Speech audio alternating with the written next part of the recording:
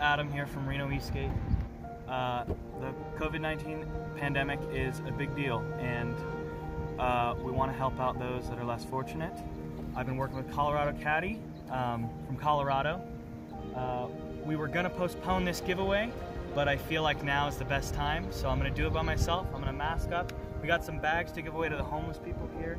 I filled them with, there's some toiletries in there, there's a blanket, there's some socks.